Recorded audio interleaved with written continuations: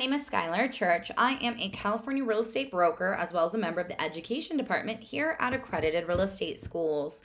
We are going to talk a little bit about promissory notes and a deed of trust, um, the um, primary security device that we use here in California. But if you like our material, make sure to give us a big thumbs up, subscribe to our YouTube channel, comment below. That interaction is what keeps us keep producing well this new um, this free material. Um, and also, if you like our material, make sure you remember we do courses as well as state exam prep options, and I have that link below. But let's get to it and start with talking about some basics of the promissory note and deed of trust. So, this promissory note, this is the pledge agreement. It's the edge of um, evidence of the debt to where it's the IOU. When a borrower, let's say they want to buy a property and they um, don't have the money, so they have to get a loan, so they're they're going to be renting money. That cost to rent money is that interest and that's where the promissory note is going to evidence this debt obligation that the borrower is agreeing to pay. So, for instance, in our example here, if they bought a $100,000 house with putting $20,000 down, the loan would be 80,000. So, the promissory note would evidence that it's an $80,000 um, debt. So, this is the promissory note, the IOU that the borrower is going to promise to pay $80,000 back at 6% interest. That is the cost to rent this $80,000. And it's going to be paid off on a fully amortized schedule over 30 years. So equal payments of um, each month, so for 360 months. And um, that means that it'll be paid, paying all the principal and interest that is due. And then the property description of what this money is used for, since this was a purchase money loan the borrower signs it. But however, when they sign this promissory note, the promissory note is only as good as the paper that it is written on. So it's an IOU saying, Yes, I owe you this money, but if I don't pay it, what are you going to do? It's only as good as the paper it is written on. That's why the borrower is going to also be signing at the same time a separate document of the trust deed. This is the primary security device we use in California, and a lot of states do this as well.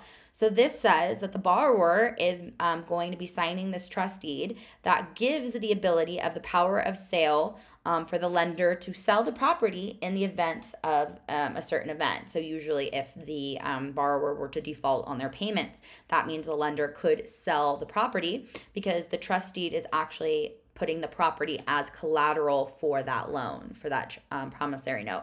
So, this is the hypothecation of it. Now, the power of sale is given directly to the trustee, that disinterested third party that will sell the property on behalf of the lender, the beneficiary. That is technically how it works, and we'll talk about that in just a moment. And also, in this deed of trust, that's where the acceleration clause is going to come into play, where upon the happenings of a certain event, the um, the loan balance become due and payable immediately. So, for instance, if the borrower defaults on their payment, well, then the lender can call that loan balance, that entire amount that hasn't been paid to that point, due and payable, uh, due and payable immediately. Um, that's in the acceleration clause. Just like if the um, borrower were to sell that property, there's an alienation due on sale clause that if the borrower were to sell it, well, now that loan balance becomes due and payable also immediately. So the borrower signs this, and then um, once it's been acknowledged, it is actually recorded against the title. So this is the actual lien. The trust deed is the lien on the parcel of property that encumbers the title to the property. This is the lien. So the promissory note can be by itself, but it doesn't mean much. It's just an IOU, um, a debt obligation, um, without much because if they don't pay it, there's nothing to go after. But once you secure it, so you add the document of the deed of trust, that is the actual lien where the property is placed as collateral for this loan. So the deed of trust is a separate document, but it will always, always have a promissory note. It cannot exist on its own. A promissory note, on the other hand, can exist by itself because that is the negotiable instrument of this IOU, of this note. And in this case, it is a secured promissory note since it's bundled with a deed of trust. Now, let's talk about this deed of trust. So this deed of trust, that is the collateral for the loan. So this is security for the promissory note. So there are two documents. So the promissory note is saying what is the debt obligation, that IOU, but then once we bundle it with that deed of trust, now it actually means something because they could go after the property. So these two documents are the traditional home loan used in California and a lot of other states as well. But again, remember, there are other types of security devices. You could use a mortgage or a land contract, for instance. Um, but this right here, the promissory note with the deed of trust, is primarily what we use. and how it works and why it's important. So, the trustor, that is the fancy name for a borrower buyer. So, the person that is taking the loan out, they are called the trustor. They go to the lender because the lender is the one that is giving them the money. We call them the beneficiary. So, beneficiary is the lender, the trustor goes to the beneficiary, okay? Now, here's the thing is this is a pretty big hefty transaction here with a lot of money. So, to kind of get somebody involved, there's a disinterested third party called the trustee. They hold that legal title. So, that power of sale is given from the trustor to the trustee. So, the trustee can sell the property if the borrower were to default. Um, and then, so the trustee will sell it on behalf of the lender, on behalf of the beneficiary. Now, what they do here, because the great thing about using a trust deed is you do not have to go through the courts to foreclose. You're able to do a non judicial foreclosure. That's through this trustee sale, okay? And how it works. So, if the borrower, the trustor, were to default, well, that's then when the trustee will be notified by the lender saying, hey, Lend, the lender will be like, we, we're not getting paid. Borrower defaulted. We need you to institute the trustee sale. So the first step is this notice of default. They're going to record a notice of default on the property. So that's telling everybody, hey, this trustor has defaulted on their payments. Then they wait three months. They wait three months. They don't do anything. After three months, that's the soonest.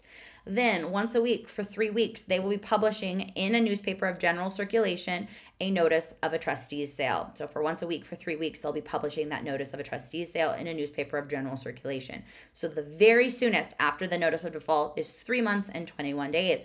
Now, again, it could take a lot longer depending on the portfolio, the market, things like that.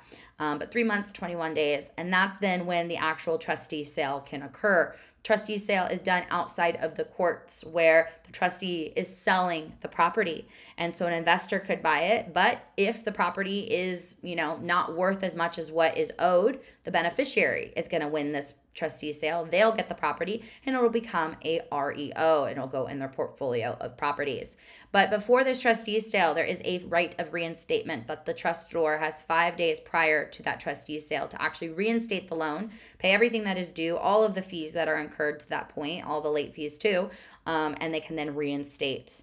Um, so that is what they do have five days prior to that trustee sale. But if they miss that right in reinstatement, sorry, that property is being sold.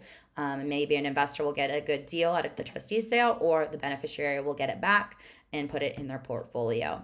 So, this is how it works um, a basic overview of this process. Um, and again, there is more to this. So, really want to review it because, of course, this is a non judicial foreclosure, but they could decide to uh, foreclose judicially through the courts. There could be a um, deficiency judgment as well as that one year right of redemption. Um, and then you want to also go over other security devices, mortgages, land contracts. So really want to review it. But this is the bare basics, and I hopeful I hope it was helpful in your licensing journey. If you liked it, um, make sure to give us a big thumbs up subscribe, comment below. Um, and also just know if you are wanting more information on this material, we do have a lot of practice questions, for instance. We have video options that we talk in depth on this type of material. Thanks for watching.